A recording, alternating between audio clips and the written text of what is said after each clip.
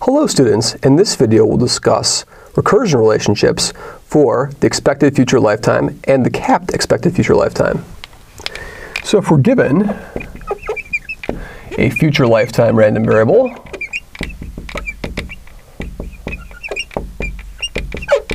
tx, we can define from this its curtate function, kx, which is the floor of tx, and we get two quantities for expected value. We know that ex circle is just the expected value of tx, and we know that ex without a circle is just the expected value of kx. So one is a continuous random variable, one's a discrete random variable.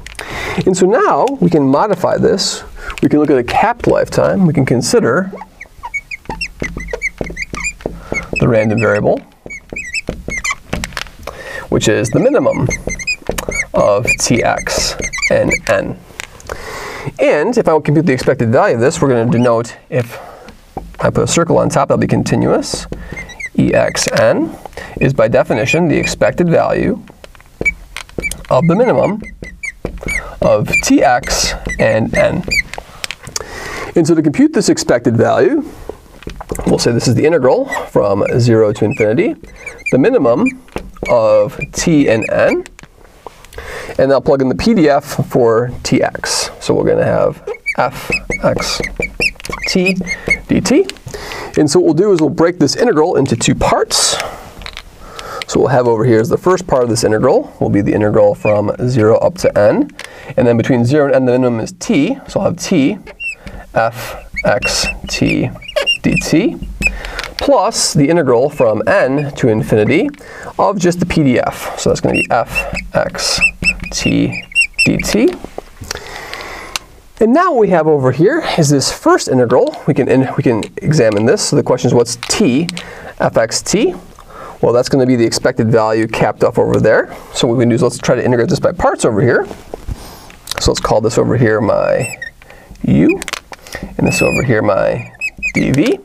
We already know that this expression over here is equal to npx. And so we integrate by parts. So we're going to have a u times v. So I'm going to write that as t times negative tpx because the, the, derivative of the survival function is negative the PDF. So if I put a negative sign there, I'll work it out. I'll go from 0 up to n. And then minus the integral from 0 to n of v, which is going to be negative tpx, and then a du, which should just be a 1. So I'll have a dt over here. And we saw that this part of the integral over here is just going to be npx. And so what we have over here, when we plug in t equals 0 to this expression, we'll get 0. When I plug in t equals n, I'll have negative, negative n. And then we'll have a npx. And then we'll have a plus integral from 0 to n of tpx dt. And we're missing one thing over here. We're missing the, when, I, when the minimum of t and n is actually an n, so we put an n right there, and this will turn into a positive n over here.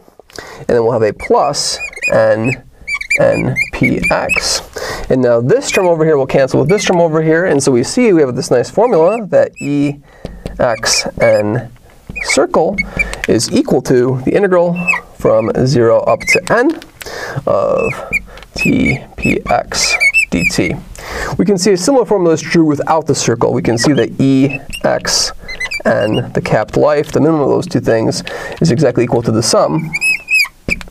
Okay, it goes from 1 up to n of tpx, okay, px.